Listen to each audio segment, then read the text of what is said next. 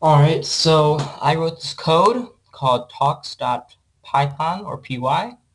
Basically, you have a conversation with the computer. Here's the code real quick. Real quick, real quick. Alright. Pretty, not too comprehensive, but pretty into it for at least most people's levels. So to run the code, right-click the file in the workspace, drop down, and select Run. So just do that and select Run, or you can just do this. If you feel up to a challenge, try adding on to the conversation yourself. So those of you who feel up to the challenge, you can uh, look at the code right now and try to add on to it. Just remember to leave uh, this part right here at the bottom. When you reply to the computer, don't use punctuation or capital letters. All right? So let's run this. So, would you like to play a game? So let's say yes. Wonderful. Unfortunately, I am not programmed to play games. Hmm. What is your name? Let's do Keegan. Keegan is a great name. Nice to meet you, Keegan. How was your day? Was your day good or bad? Say bad.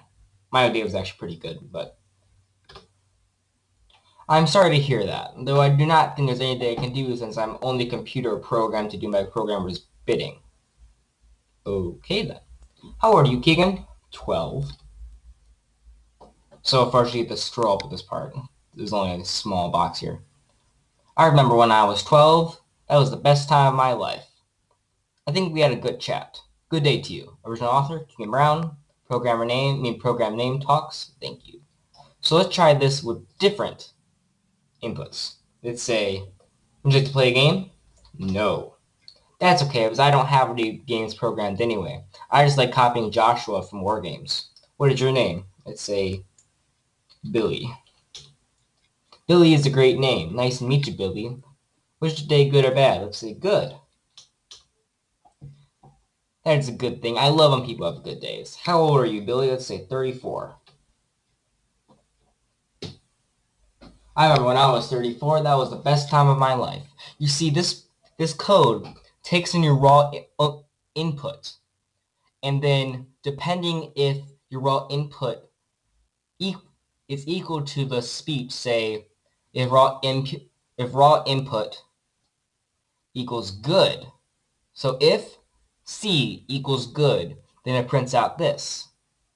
If it equals bad, it prints out this. So yeah, that's the code, and feel free to add on to it if you feel up to the challenge. And yeah, adios.